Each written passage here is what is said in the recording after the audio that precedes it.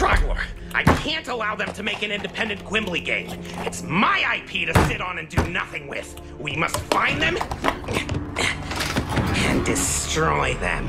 Yes, Master.